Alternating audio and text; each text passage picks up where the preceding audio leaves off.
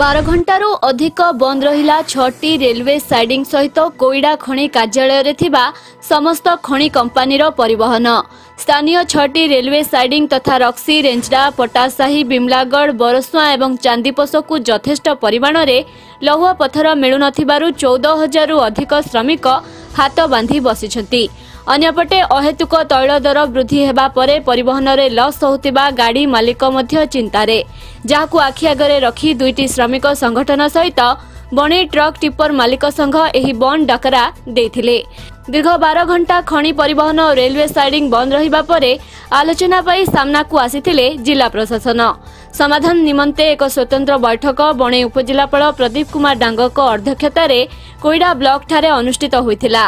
ଯେଉଁଥିରେ ସ୍ଥାନୀୟ ସମସ୍ତ ଖଣି କମ୍ପାନୀର କର୍ତ୍ତୃପକ୍ଷ ଯୋଗଦେଇ ସେମାନଙ୍କ ମତାମତ ପ୍ରଦାନ କରିଥିଲେ। ସମସ୍ତ ରେଲୱେ ସାଇଡିଂ ସମାନ ଭାବରେ ଲୌହ ପଥର ଯୋଗାଇ ଦେବା ସହିତ ପରିବହନ କ୍ଷେତ୍ରରେ ଭଡ଼ା ବଢ଼ାଇବା ପାଇଁ ପ୍ରତିଶ୍ରୁତି ଦେବା ପରେ ବିଧାୟକ ଲକ୍ଷ୍ମଣ ମୁଣ୍ଡା ଏବଂ ବିକ୍ଷୋଭକାରୀ ବନ୍ଦ ପାଳନକୁ ପ୍ରତ୍ୟାହାର କରିଥିଲେ। ବଣେଇରୁ ଡମ୍ରୁ ପ୍ରଧାନଙ୍କ ରିପୋର୍ଟ କଳିଙ୍ଗ ସମାଚାର